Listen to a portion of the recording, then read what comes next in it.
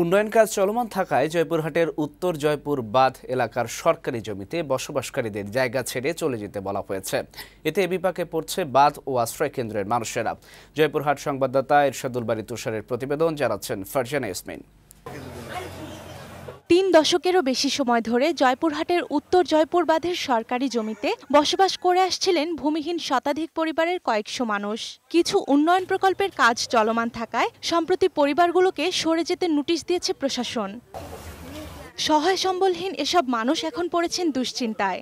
সরকারের পক্ষ থেকে পুনর্বাসনের ব্যবস্থা করার দাবি তাদের। রাস্তাঘাট গাড়ি ঘোড়া তো সব করার পরে এখন আমাদের এখানে তুলে দেওয়া হবে আমরা এখান থেকে কোথায় যাব? আমাদের যাওয়ার মতন কোনো জায়গা নেই। আমাদের যাওয়ার জায়গা থাকলে আমরা এখানে সরকারি জায়গা পড়ে থাকতাম না।